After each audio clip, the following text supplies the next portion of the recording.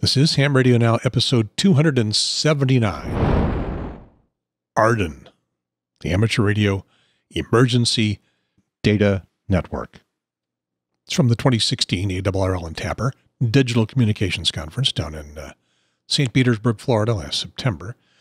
And I probably ought to make this uh, one of those EmComm extra episodes because it's you know, emergency stuff. Well, I'm not going to give it an EmComm extra number, but I'll, i think I'll probably list it in the uh, in the group. If you're not familiar with that, we've started doing uh, a new sort of an embedded program within Ham Radio now called the EmComm Extra. I think we've done three or four of them, and we'll do more. And by we, I mean uh, me and my co-host uh, David Goldenberg, W0DHG, out in Los Angeles. Yeah, got a regular co-host for part of the show anyway. Well, this one is presented by Andre Hansen. Uh, he is a K6AH, uh, other guy in California. And I am that HRN guy, Gary Pierce, KN4AQ. Well, that's what somebody called me on a Facebook comment here um, when I put up a recent episode and listed it over on the um, TAPR uh, Facebook page. Uh, Oren. I find this HRN guy to be too wordy and overacting. Overacting. You want to see overacting? I will give you overacting. So, uh, that being the case, I'm going to show you, do a little public service, uh, show you um, how to uh, skip me entirely on YouTube. Let's bring this way up on YouTube. And, is- whoa. So, see this little thing down here?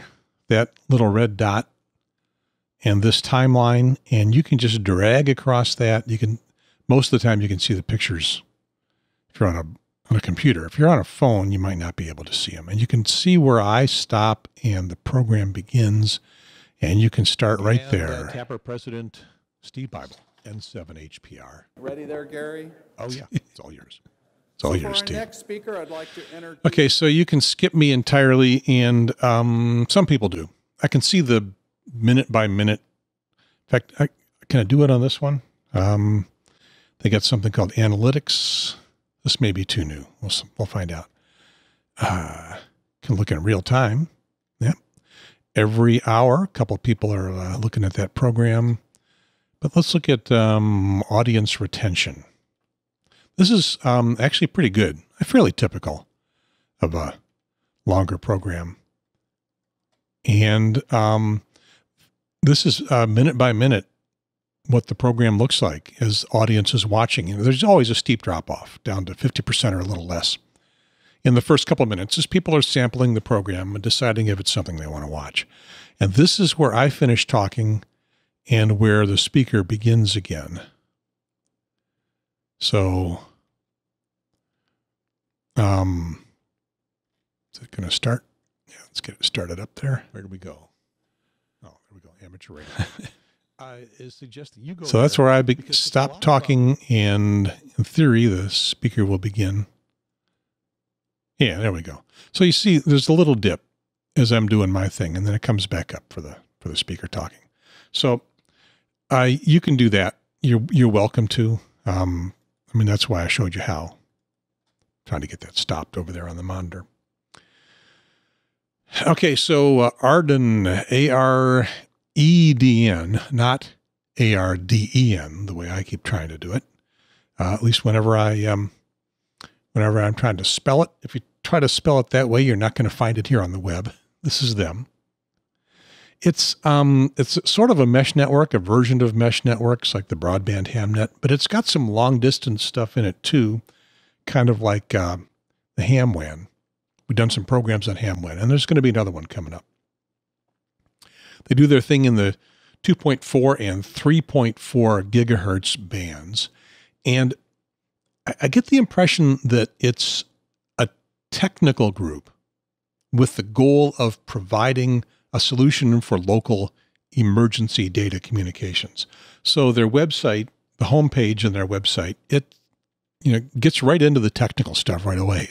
Barely says what it is they do. If you want to find out what they do, you go over to the About Us, and then they uh, talk about what they do some. But you know, like like a lot of ham radio websites, the technology is forward, and the actual operation and what it is can be a little bit more hard, uh, more difficult to um, to figure out. Uh, Andre's uh, talk uh, to the TAPR Group, of course, is all about the technology because that's what he's there for. And we'll get to it in just a moment. Let's see. Our uh, sponsors are TAPR themselves. TAPR uh, sponsors the DCC along with the ARRL. And this is one of their Facebook pages. In fact, this is their Facebook public group. They do something like I do, which is they have a Facebook group and they have a Facebook page. And they're, they're a little bit different. So this is the Facebook group, and you can join it. Um, they have like about 60, 70 members, I think. It's not real big. It should be bigger. And that's kind of why I'm talking about it, because it, it should be bigger. So this is their Facebook group, and it is where you can post things and I can post things. And I've been putting up announcements of the episodes, and it's where the guy said uh, the HRN guy is wordy and overacting. Overacting! I'll show you acting. Uh, and uh, and other episodes, and other people post things now and then, but really it's mostly been me. Um, and then they've got the page, kind of like I do, um, on Facebook, and there uh, we are mere mortals. There's a spot that looks like we can say things, but when we do, it ends up just sitting way over here. Whoops, where it's uh, hard to see in visitor posts. And you can see people put stuff up there. So if you want to interact, the group is a better place to do it. And they could use more traffic everywhere. So that's why I was pointing out TAPR. Next, my buddy Chud.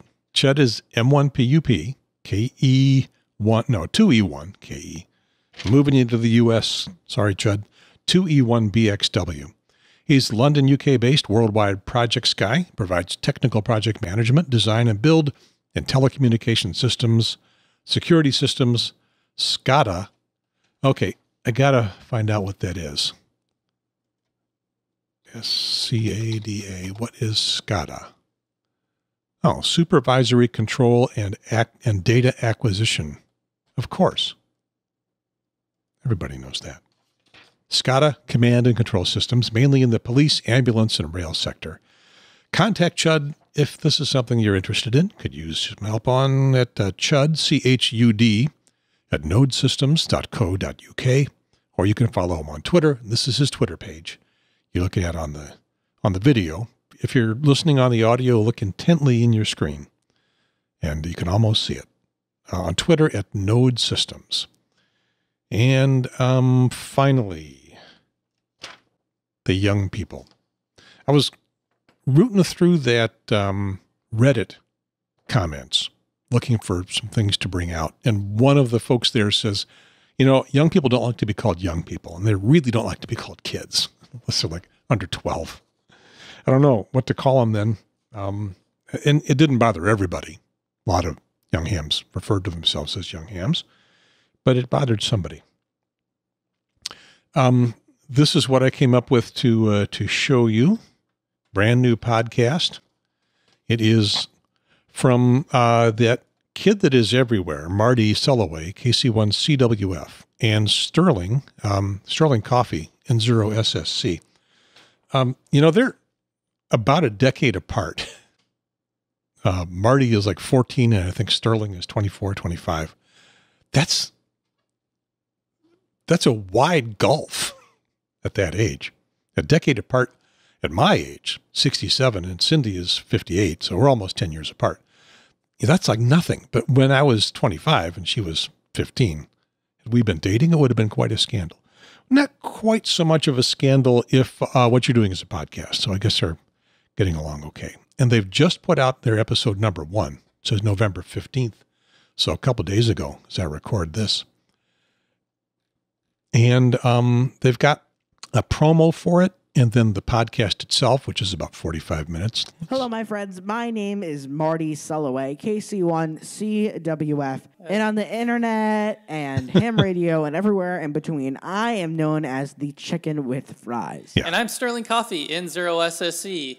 And together, Marty and I are creating a podcast called The Phasing Line. Marty and I will be talking with each other on these podcasts conversationally with occasional interviews on any sort of topic in ham radio. Yeah, okay. So um, Sterling says they will talk conversationally, but in the promo, they're um, reading something.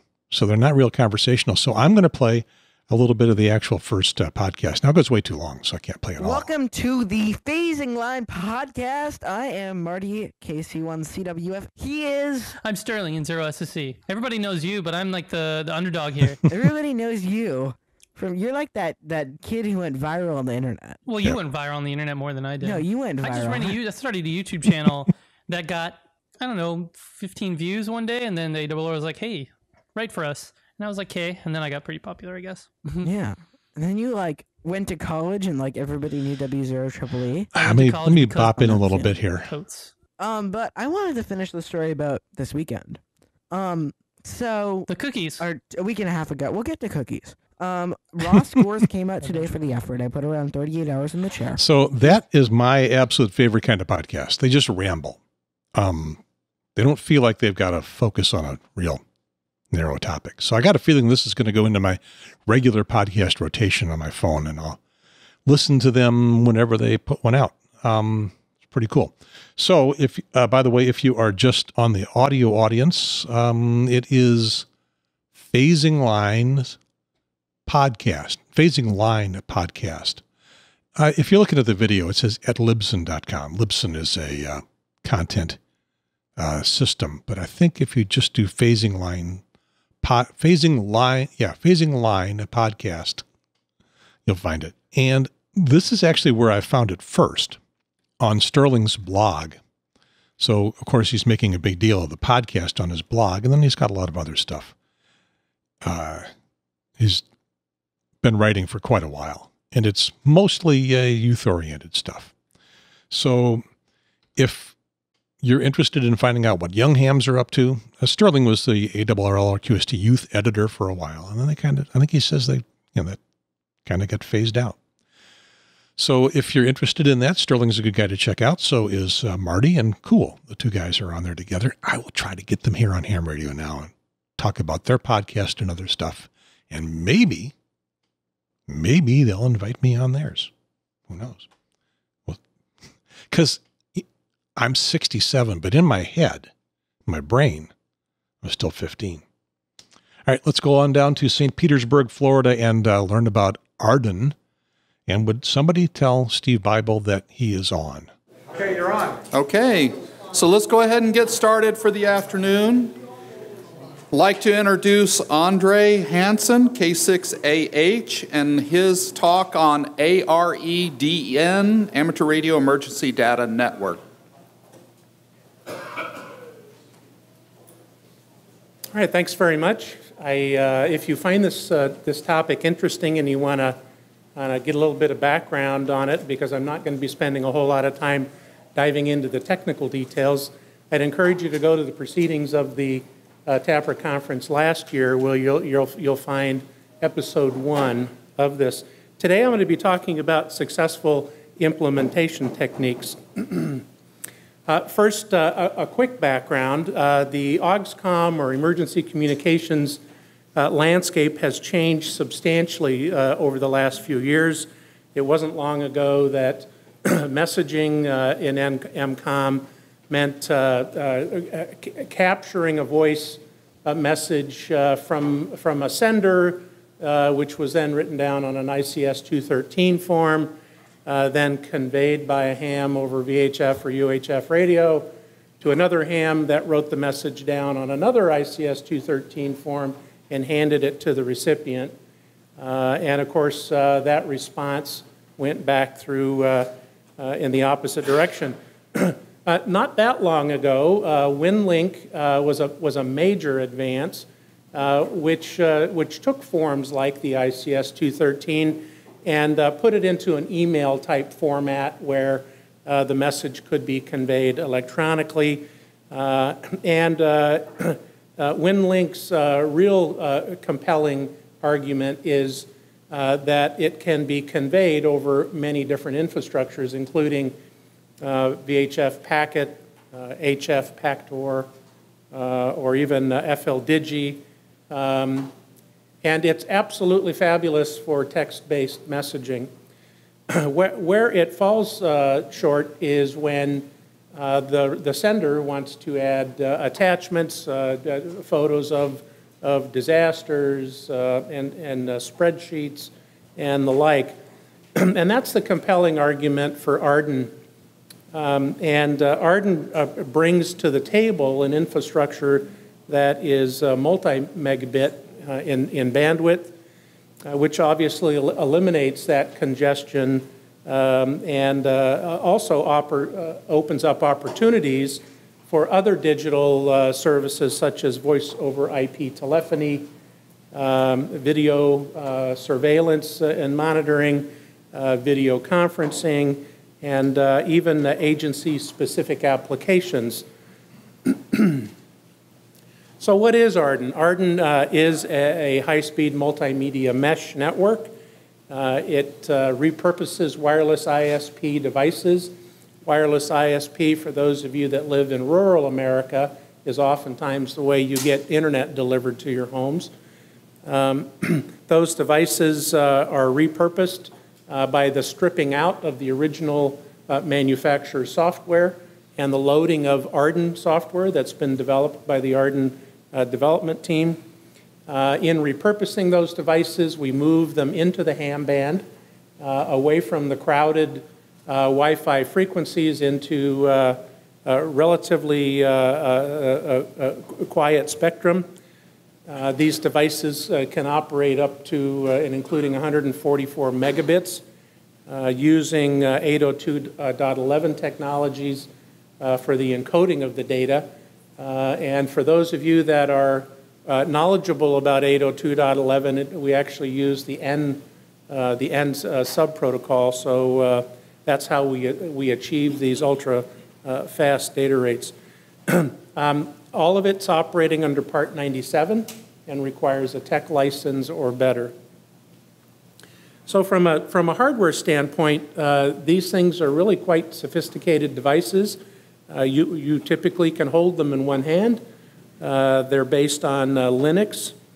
Uh, if you were to open one up, you'd find an, an Ethernet interface on one end, uh, followed by a uh, powerful Linux computer, followed by a software-defined radio, and finally a, a strip line amplifier into an antenna.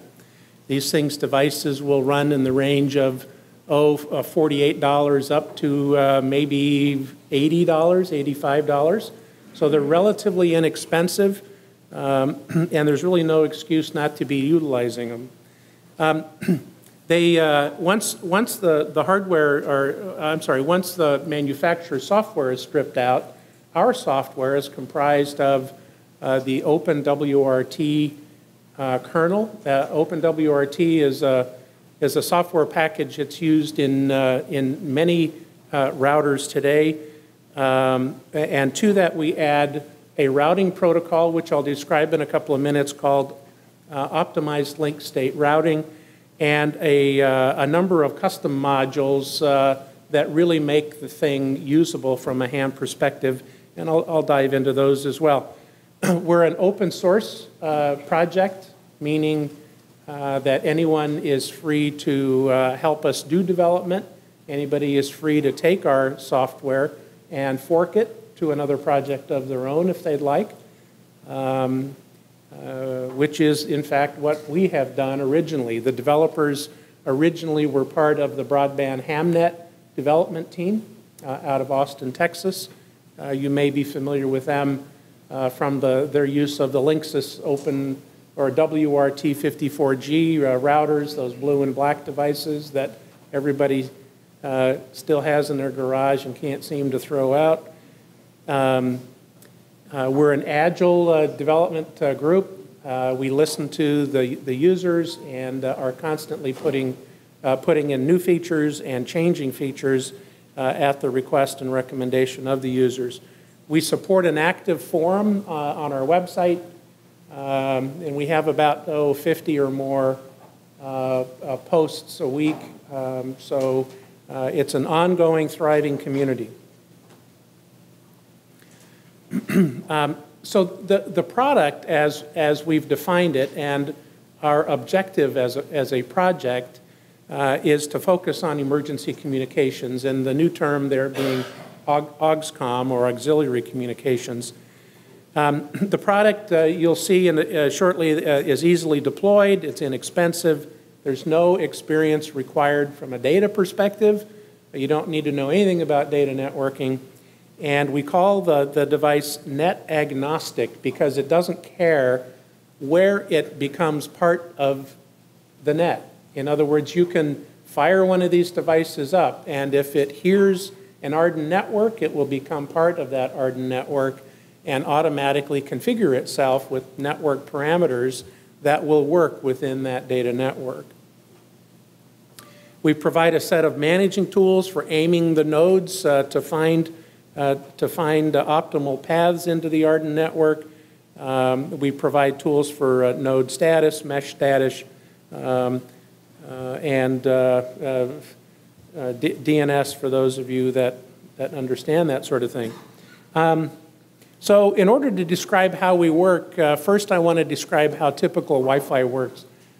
so in the bottom right-hand corner, there's the, the user domain, uh, and you know, all of you that have Wi-Fi routers in your homes are quite familiar with this. Um, there are some devices that could be uh, uh, physically connected to the router via Ethernet cable.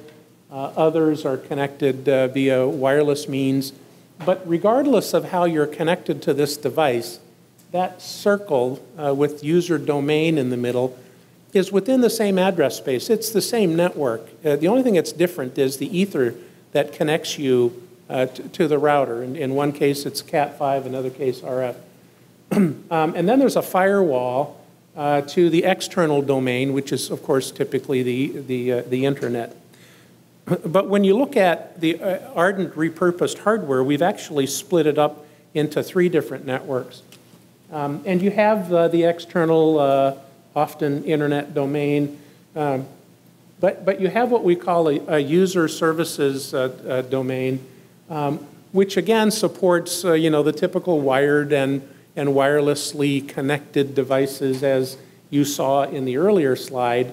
But also uh, there there is a services component to that, meaning you can supply services to the network from any of these nodes as well. Services could be oh I don't know serving web pages, uh, having a, uh, a, a telephony PBX. Uh, it could be um, a, a, uh, conferencing server, there, a chat server. All these services can be, uh, can be uh, domiciled or connected to any one of these nodes and shared with all the rest of the users on the network. Now, the thing that's really magic about it is that we've repurposed the wireless uh, component of the router. Um, instead of connecting to uh, devices in the user domain, it's connecting devices in a mesh domain. and uh, that mesh domain is extensible. In other words, you can extend it to however many devices uh, uh you want. Um, we'll talk more about that. Um, so what makes all this work is, is magic. And uh, let, let me, let me, let me, let me explain, let me explain a little bit of the underlying technology in that magic. And I, and I promise I won't, I won't bore you. Um, so there are four, there are four uh, AREDN routers there. They all happen to be um, what are called nano stations. And um, uh, you can see they're labeled A, B, C, D, and you can see the RF paths between them. Um, so uh, in order to, for this network to uh, determine how data is to be passed through the network, um, it figures out what the link quality is between the devices.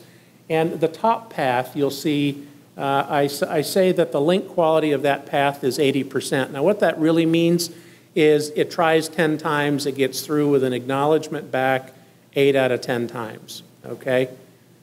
Um, So we say that has a path cost of $1.25. Now, there's no money changing hands here, but if we're talking about, about uh, uh, uh, the expense or the, the quality of a path, we use, we use money just because uh, that makes a lot of sense to me and, and us. Um, so we say that has a cost of $1.25.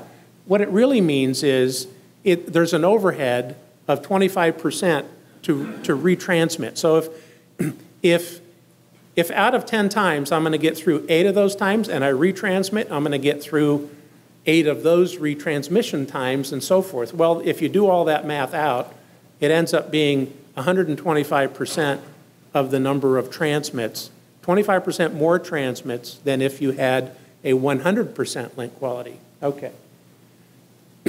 so I've done all the calculations. I've, uh, you can see their values there. Uh, and, and now, so I'm going to give you another assumption. The path between A and B suddenly breaks. Now, what, what is going to be the next route that's going to be used between A and B? Well, I see a couple of paths there. There's the uh, A to C to B path, and there's the A to C to D to B path. And, and the one it's going to use, based on the assumption I gave you, or the, the rule I gave you earlier, is it's always going to use the least expensive path.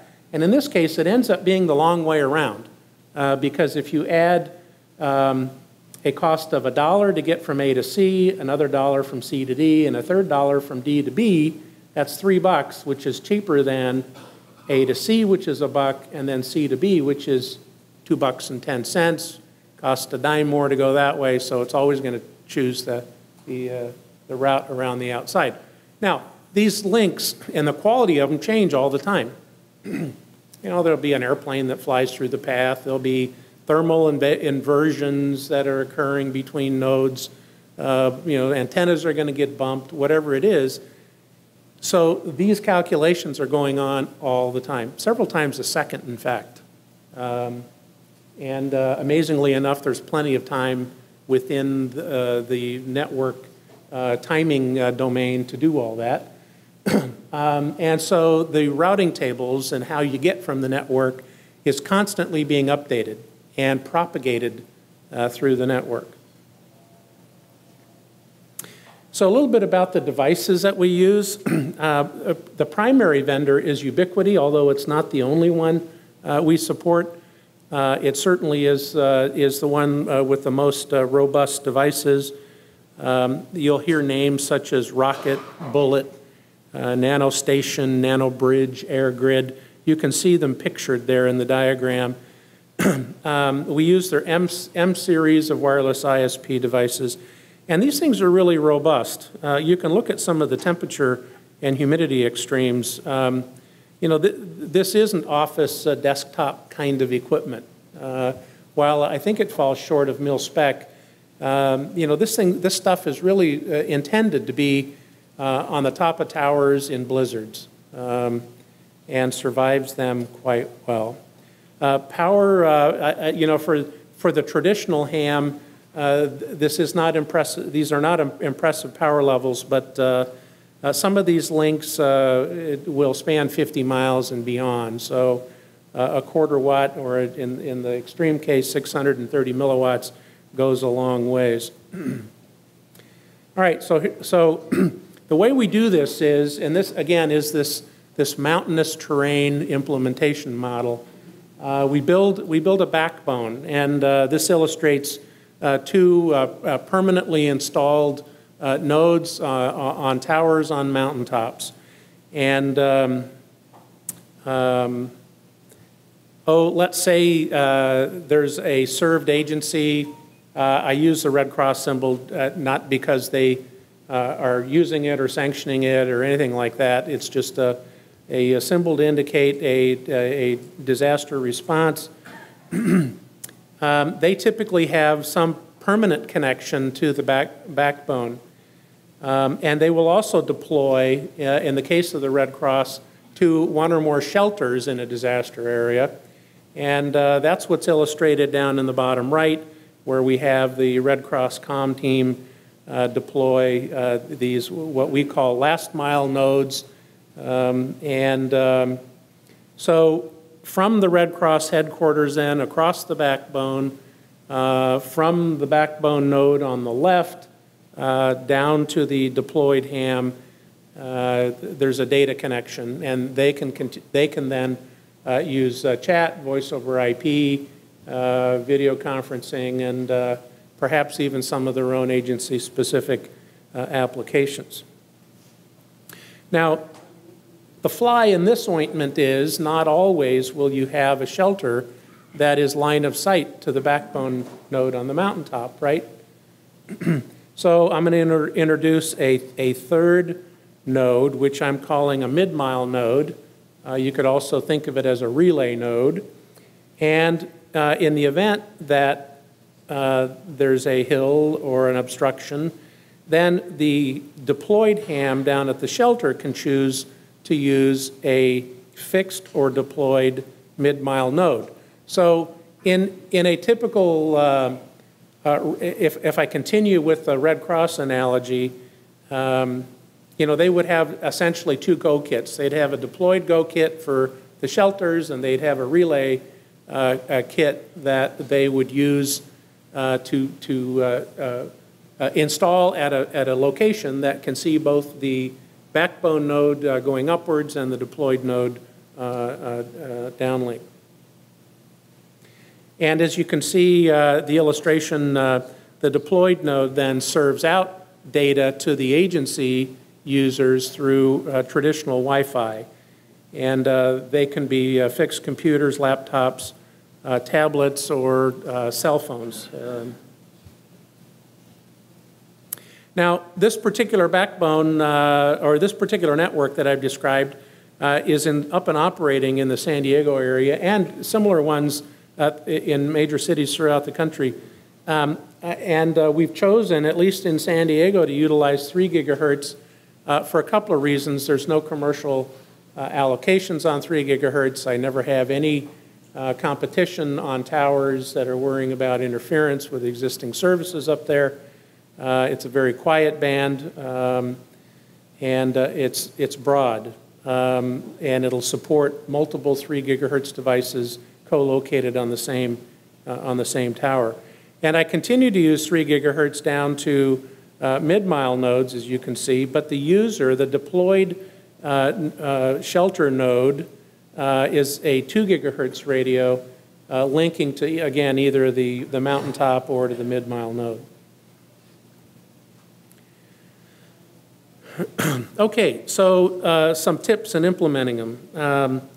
Um, spending, spending time planning is a really good thing with this, this network. Um, now, you know, I, I, the, the term mesh network suggests a, a high density of nodes that are all talking to each other and, and if you want to get from one point uh, to the other extreme on the mesh, it somehow figures its way through a multitude of nodes and, uh, and gets you connected to the far end. Well, that's not a, that's not a, a sane approach from a cost or project perspective unless you've got millions of bucks and you're going to outfit every ham in the county with one of these nodes and they're all, all going to put them up on their towers. so um, this, this backbone structure is really uh, an, an initial path that is assured to work. And as hams do put up mesh nodes in the community, then the backbone may or may not be the way you're going to get through that network 10 years from now. But uh, it, it is a, a predefined, high quality path that gets you from where you are to where you need to be from a data connectivity perspective. Now, the way you figure all that out is by using propagation modeling software such as Radio Mobile. Uh, for those of you uh, that are not familiar with it, it's an extremely powerful tool uh, that uh, uses uh, high-level mathematics and data that was collected uh, from one of the shuttle missions where they, they computed the altitude of every point on the globe. Um, the, so with, with a lat lon and a database you can use to look up the elevation for that lat lon, uh, you know all the points in the area uh, of coverage of, of, a, of a given tower-mounted AREDN node. Um, I won't spend a whole lot more time talking about that, but uh, you know, in order for you to be really proficient in in uh, uh, designing uh, AREDN backbones, you really need to understand this. Otherwise, you're going to be spending a lot of time testing nodes, only to find that they're not going to work. Um, anyway, a super super valuable tool. Um, another comment is signal to noise ratio on these uh, backbones really matter a lot. Uh, if you don't have, for example, 15 to 20 dB of signal to noise be, uh, uh, uh, on the received signal, you're not going to get uh, sufficient bandwidth um, data rates through, the, through the backbone. So you, you use radio mobile to estimate what those signal to noise ratios are going to be. Uh, and then you go out and you verify those that are proven to work uh, or, or, estimated to work using the radio mobile tool. Um, you need to be aware of uh, the Fresnel zone for those of you that are not experienced in microwaves. Uh, it's one thing to be able to see a point in the distance. It's quite another uh, to have confidence that you're actually going to be able to communicate with it. Uh, trees kill the signal quite effectively. Uh, and the Fresnel zone is essentially a cigar-shaped uh, uh, envelope that, uh, that sits between the two nodes that illustrates the areas where um, destructive um, interference will occur. So we all are familiar with multipathing. Uh, multipathing at microwaves is real critical, and uh, those, uh, those zones that illustrate whether it's going to be destructive or, uh, or, or, maybe even uh, complementary uh, are defined within those Fresnel zones. Um, and then, uh, then, then bandwidth. You, you, can, you can determine how much RF bandwidth you want to use between two devices. Um, uh, out of the box, our software defaults to 20 mega, megahertz of bandwidth. Um, but you may find that you you have marginal signal to noise ratio. Well, you can, you can decrease the bandwidth by half and increase the signal to noise ratio by 3 dB. You can, you can go down to 5 megahertz of bandwidth and get a 6 dB benefit uh, in signal to noise ratio. So that's another variable that, that comes into play uh, in, in implementing uh, uh the backbone. Um, co-location, you, you uh, when, when you go up on a mountaintop, if you choose a band that's already being, being used by a commercial customer, uh, it's, the rule usually is existing customers don't do any uh, mitigation. It's the new guy on the block that has to figure out how not to, uh, not to interfere with existing services. So that may, that may uh, influence your decision to choose maybe a different band on that particular hilltop. Uh, it may choose, or it, it, may influence you to put on RF armor on these devices so that um, the, uh, there's less likelihood that you're going to interfere with, uh, with those existing services. And then uh, uh, physical separation uh, or channel separation. Get far, as far as you can away from the existing commercial customer on the tower as you can from a frequency perspective. So here's an example uh, in San Diego of uh, the, the, backbone network. There are three dots there. The, the top one uh, is uh, San Diego Northern County on uh, Mount Palomar. It's at 6,300 feet. Uh, yeah, for you flatlanders, we, we are blessed in, in Southern California to have mountains. Um, the, the, one, the, the one at the bottom is Mount Otay, which is just north of the Mexican border. In fact, um, it, uh, it tends to cover quite well into the Tijuana area.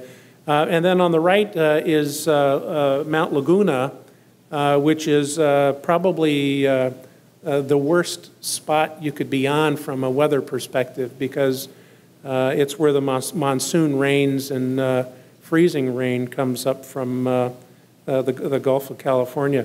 But uh, the green area uh, illustrates where in the county um, you could place a mid-mile node. In other words, all of, all of the radiation coming, uh, uh, all the AREDN coverage from these mountaintops uh, are, uh, are represented in green. So if, if your shelter happens to be, if I can continue the Red Cross an- analogy, in the, in the, in the white areas where there is no direct coverage, uh, if you need to put a shelter there, you need to find an area within the green that can see the shelter. So this is a very useful map from a planning perspective, and uh, it's an output from, uh, from Radio Mobile. And uh, this is a mid-mile node that I happen to own and operate uh, near, near uh, where I live, um, and it's intended to cover a, uh, a higher density footprint within uh, the Oceanside Vista, San Marcos, Fallbrook, Bonsall area, and does a good job in doing so. You can see that there is a little knob hill to the northwest that casts a, a, a shadow that uh, I don't cover as a result. So here's some uh, photos of, uh, of uh, San Diego. The one on the left uh, is the Mount Otay location just north of the Mexican border. And the dish antenna is a, is a, a Ubiquiti rocket dish and rocket node um, pointed north to Palomar. Uh, and uh, just above it is a sector uh, antenna that uh, provides 2 gigahertz coverage to uh, the deployed users uh, down on the ground.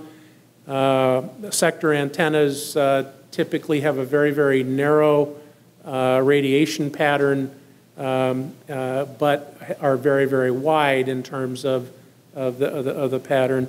Um, and the idea is to, to point that antenna so that you don't waste a whole lot of energy heating up the Pacific Ocean, in my case, but actually radiating it to, uh, to the communities uh, down below.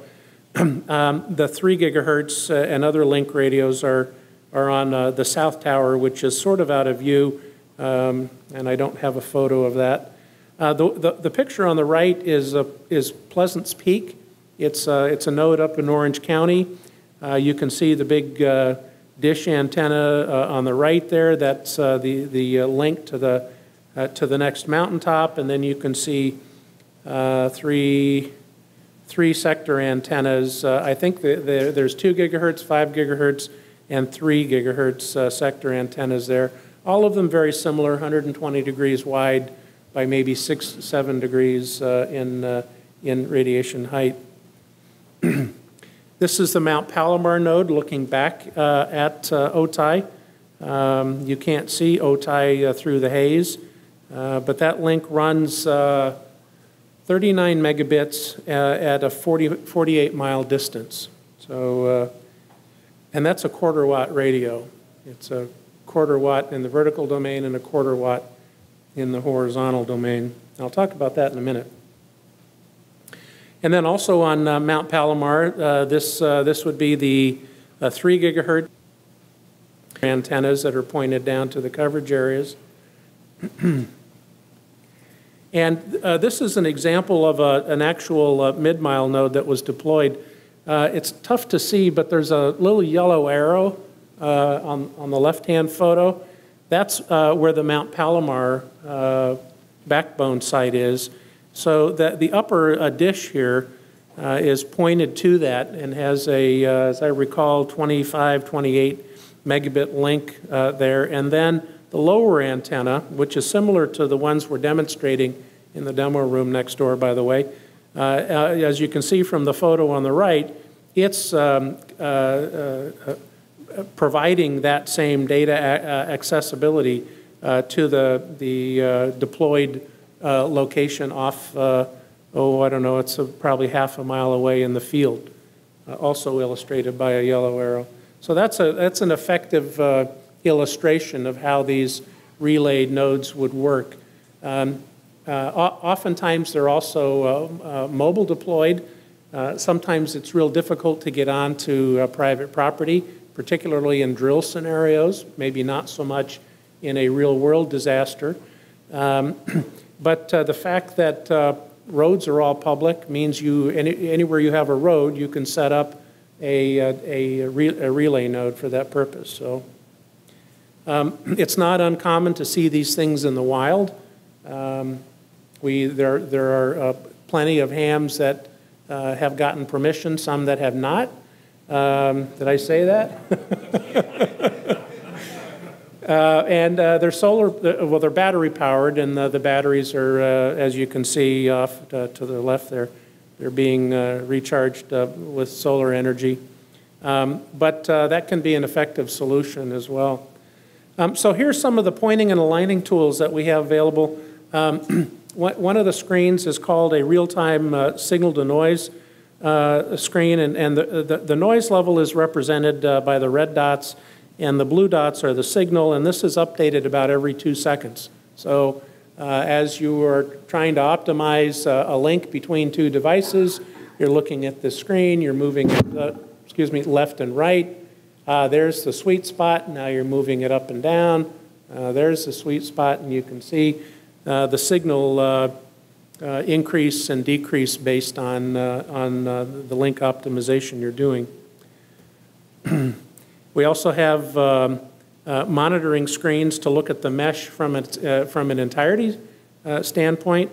Uh, your node is illustrated uh, uh, right here, and these are your local neighbors. in other words, all the devices that are connected to you. And then here are all the devices that are connected to those devices that are connected to you. So these would be all the ones beyond. and we provide um, uh, the, uh, the, the, uh, the data throughput values for each of those connections. You can see some of them have uh, uh, throughputs of 14 and more megabits, some down around 5, all very usable links. And uh, we also uh, show you what the cost is. Remember my dollar analogy for all the pathing? Uh, all the costs are associated with getting to further and further remote uh, nodes on the AREDN network. We also provide a, an archive of that signal to noise graph that I showed you. So let's say somebody complains about uh, or you, you notice some degradation in the network performance. Well, you may wonder how that happened. Uh, so we keep two days worth of data on that signal to noise and it'll allow you to drill down even down to the, the single uh, data point uh, to uh, try, try to understand exactly what happened there. Uh, we'll timestamp the, the signal strength value and also the, the time. Uh, a few other uh, general comments about this. I mentioned polarization earlier. Um, if, if, you, if you have, if you have a, a vertically polarized antenna and you had another vertically polarized antenna and these devices were talking to each other, if, if you, you rotated one of them 90 degrees and made it horizontally polarized, you would get a, approximately, under ideal circumstances, a 30 dB difference uh, uh, or a, a nulling effect, right? Well, you can use that to your advantage uh, in a number of different scenarios. One of them uh, uh, is, is noise canceling. In the 2.4 gigahertz band, everybody is on 2.4 gigahertz. You know, everybody that has Wi-Fi is a potential uh, source of noise for you? Well, fortunately for us, most of them have their antennas pointed up.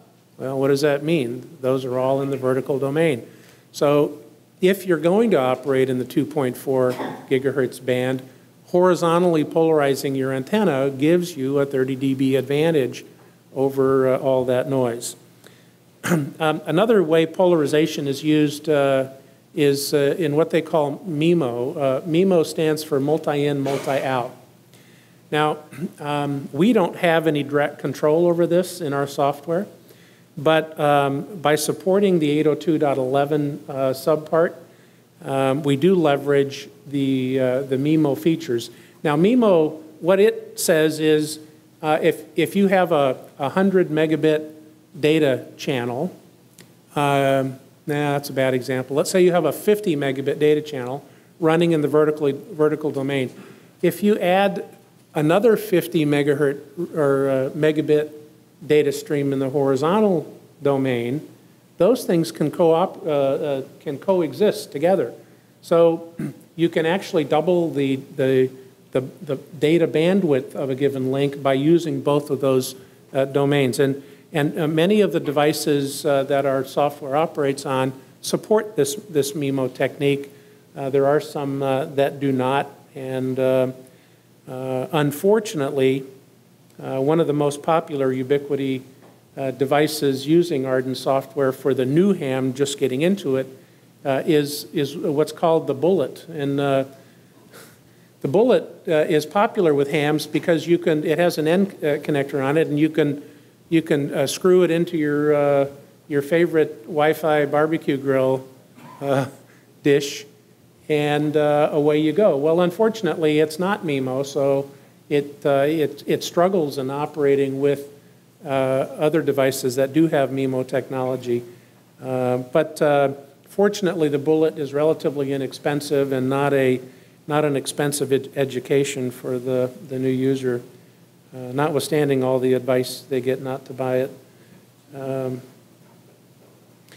uh, the power, okay, so these things operate uh, power over Ethernet. Uh, you plug an Ethernet cable in, you plug the Ethernet cable to what's called a PoE adapter, that supplies 24 volts to it and plug it into the wall and away you go. You only need one cable running up the tower and that's not a, not a piece of coax, it's a piece of Cat5 cable. Okay? Uh, the, the spec is actually 10 and a half volts at the connector itself. Uh, so uh, it works great uh, with the 12 volt source in your vehicle. Um, I do that all the time. The device takes about five or six watts, so you do the math, it's about a half half an amp. Um, and a, uh, you know, an RV uh, deep cycle battery will run this thing for days. Um, we also provide the ability to connect uh, these uh, AREDN uh, devices back to back. So you can, uh, as you saw in the network illustration, you've got three gigahertz coming in from a remote mountaintop down a cable connected back to back to a uh, 2 gigahertz radio, um, uh, that works just fine. In fact, you can cluster these things. You could, you could have multiple uh, uh 2 gigahertz radios uh, all in a, uh, you know, a cell site kind of, of an affair. you do have to be very careful about um, noise and, and interference between the radios, but you eliminate the need for the devices to communicate with each other over the RF path. They'll do so over the Ethernet path instead. Uh, VLANing. Okay, so here's a bullet on the bottom left that I described earlier, an air grid, uh, nano stations in the bottom right. Moving on to some of the higher gain nodes, there's a rocket dish and a rocket on the left. Uh, those are the, the my uh, uh, node of choice for the backbone uh, links, the long distance links. Uh, that, that'll go 50 miles. Uh, in the middle and the top, we have the uh, nano bridge. Uh, by the way, these things, these things do, they do the same thing. It, it, doesn't really matter what device you're using. the manufacturer has, has coined a bunch of names for these devices based on what they think the market for them is. Uh, they, they all do the same thing for us. You would choose these devices simply based on, on uh, the, the range and the beam width and, and so forth. Uh, sector antenna on the left, there's a uh, MIMO vertical, that's vertical and horizontal domains coming out of a vertical antenna. That's kind of cool. Uh, an air router, which looks a whole lot like a Linksys WRT54G. Um, we've got an example in the demo room I encourage you to have a look at. Um, So what ends up happening is these, the, when you build this stuff, you get a bunch of, of AREDN uh, uh, mesh islands. You get a CERT group over here in this part of the county that's doing their thing. You get an ARES group uh, that, that maybe hasn't fully, uh, you know, uh, uh, adopted it yet. Um, it becomes difficult to justify putting a whole, building a bunch of services on a network that's disjointed like that. So um, we have what's called a, a tunneling technique, where all of these mesh islands can be joined together via internet connections. Um, and it helps justify, um, uh, helps justify putting those services on the network. Um, but it's a terrible uh, EmComm uh, uh, technique because the internet, of course, is going to be one of the first things to die, and these mesh islands are going to immediately become mesh islands again. So as long as you use tunneling uh, as a, a technique to gain agency, adoption, uh, and training and so forth, do not let it impede rolling out a full RF-based network uh, as quickly as possible. Um, this uh, technology can be used as an internet access al alternative, but uh, not always will your license grant allow you to do that. You got to be careful with that. Uh, there are also uh, there's a ton of uh, discussion about whether you're allowed to send encrypted data over the network or not. I'm not a a lawyer, and I encourage you to explore the legalities of that if you find yourself uh, in that position. Um, here's a list of the, uh, the AREDN uh, team members. Um, we, uh, in, in 2014, were awarded the, uh, the ARRL Microwave Development Award, which we consider to be a real honor. And I'll take questions. Maybe I missed it, but why, why use two bands, two gigahertz and you know three gigahertz. Why not just use three gigahertz or one? Just why not use one band? What, oh, uh, yeah. So the reason you use multiple bands is um, uh, so that uh, the backbone isn't slowed down by activity that's going on uh, on uh, on uh, lower level networks. So let's say that the mid mile node is the example, right? You've got three gigahertz coming in, you've got two going out. And the reason is so that one doesn't have to wait for the other, uh, and, and there's no RF interference between the two devices co-located on the same pole. All right, thank you. Uh, Brian Fields, W9CR. Um, so I, I, do have uh, one question. Uh, you're still, my understanding is over your backbone uh, network, which is the point-to-multipoint fixed access. Um, you're still running your same AREDN mesh, you know, essentially your convergence protocol, right? So how does, and I, have done a little bit of research into this, but um, that's still just a layer two network behind there then, right? It's all routed, it's layer three.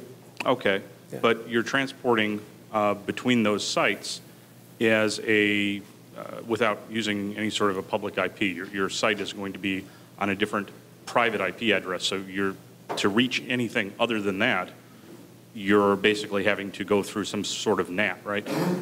No, there's no NATing going on. Each, each uh, node uh, is assigned its own address space uh, based on uh, its unique uh, MAC address. So, um, so we, we essentially divvy up the, the 10x uh, address space into enough segments yeah, to, pro- to, to reduce the probability of network collisions to a factor of one in a million so or something like that. Yeah, that, that's still private space. It's, you know, yeah, if you want to interact with anything, you're going to be going through some sort of a, a, a NAT, right? Well, uh, sure. Okay. Um, and uh, a highlight to maybe one of my, my other things I'm going to uh, talk about tomorrow um, are you considering uh, doing any sort of IPv6 for this? Because that would seem to we, that's on the drawing board. That. that is on the drawing boards, okay. and we're very eager for it because a lot of things would be very much simpler for us if we were on IP6. Yeah. Well, uh, and that's what I thought, but I hadn't seen anything, and I did a yeah. little bit of research for my presentation about yeah. that. So. Yeah, yeah, no, it's just a question of priority. Yeah, right. Thank you. All right, thank you very much. It's been a pleasure.